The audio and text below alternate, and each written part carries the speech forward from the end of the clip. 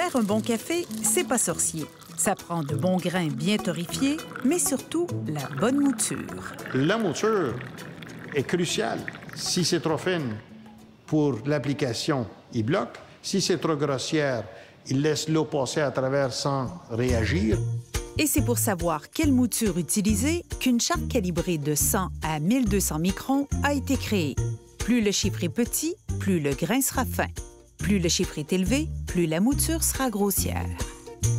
Il y a deux mondes là, entre le 100 microns et le 1200. Il y a de- toute une panoplie de monde, puis il y en a d'autres euh, qu'on peut séquencer. Mais pour vous montrer qu'est-ce que ça donne, ça c'est pour les briques qui est 100 microns. Ça, c'est une poudre carrément. La là. poudre comme la farine. Après ça, vous avez le 600 microns pour le Mélita. Après ça, vous avez 1200 microns. Donc 100, 600, 1200. Chaque type de café a son grade de mouture. Ainsi, le Bodum aura une mouture comparable au gros sel, alors que celle du café filtre s'approche plutôt de la texture du sel. L'expresso, quant à lui, aura une mouture qui ressemble à de la farine. Quand le, café est moulu plus fin, c'est que ça ouvre les pores. Donc, ça permet une plus grande surface d'ex- d'extraction. Donc, euh, comme la, la durée est souvent plus courte, on doit extraire plus de café pour pouvoir avoir les saveurs qu'on recherche. Tandis que si on parle, par exemple, d'un bodum, on a besoin d'une mouture qui est beaucoup plus grossière. Ça, ça va nous permettre, en fait, comme le grain est plus gros, d'infuser plus longtemps, sans avoir une surextraction des grains. Au Café Pista, Alexandre Séguin offre un service personnalisé aux amateurs de café. Souvent, ce qu'on va demander, en fait, c'est quel type de machine vous avez à la maison. Qu'est-ce que vous buvez? Puis, on va adapter, en fait, la mouture selon euh, la machine. C'est le paramètre le, le plus important, finalement, à, à respecter. Là, on, on a beau avoir le meilleur café du monde, s'il n'est pas moulu pour le type d'extraction qu'on a à faire, on n'aura pas un bon résultat. Puis Qu'est-ce qui arrive si je prends le 600 pour faire un espresso?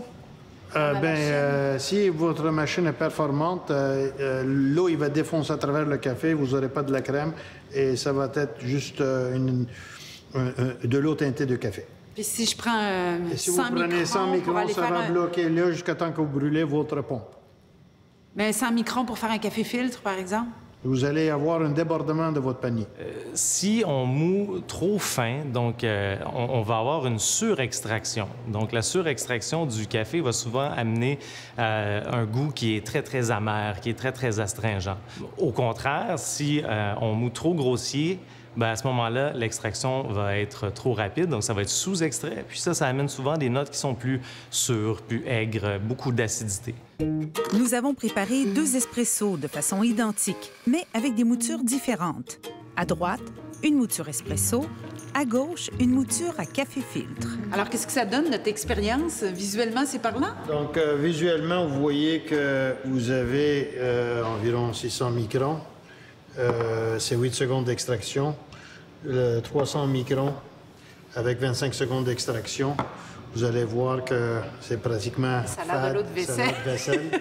Et L'autre, vous avez la crème qui tient encore, malgré que ça fait à peu près fou, hein? euh, plus qu'une minute et demie qui est restée là. Mais c'est fou, les différences. Même au nez, c'est perceptible. Oh, ça, c'est pas bon. La complexité est complètement Mais ça, ça goûte rien. Ça, ça va goûter Ben, ça vraiment fade parce que euh, c'est pas l'extraction. Ici, vous allez avoir les goûts de caramel, de rhubarbe et tout. Puis il y a une rondeur, là. Absolument. Là, là, on a vraiment... C'est comme si c'est de l'eau. De l'eau, de l'eau de vaisselle. Pour cette démonstration, nous sommes allés dans les extrêmes, mais des écarts plus subtils peuvent aussi faire de grandes différences. Votre cafetière et votre goût vous dicteront la mouture optimale. Pour l'obtenir, quelques essais seront nécessaires.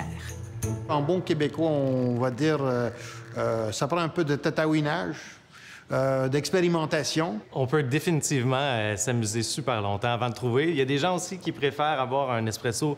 euh, tu sais, on peut jouer avec le corps, on peut jouer avec le, le- le- le goût en tant que tel, avec le- la mouture, justement.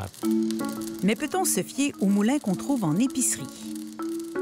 Vous pouvez vous fier dessus, mais il faut aussi être conscient que ces moulins-là sont pas vraiment conçus pour donner le meilleur des, euh, euh, je dirais, de, spécifications ou de, euh, calibration nécessaires la précision de mouture et la grandeur de particules et la distribution des particules, il pourrait se différer d'un moulin, d'une épicerie à l'autre. L'idéal, ça serait de pouvoir moudre à la minute, donc à la maison, juste avant la préparation euh, du café. Mais quand c'est impossible, mieux vaut avoir la bonne mouture un petit peu moins fraîche que d'avoir une, euh, une mouture fraîche, mais qui n'est pas appropriée à la bonne méthode d'extraction.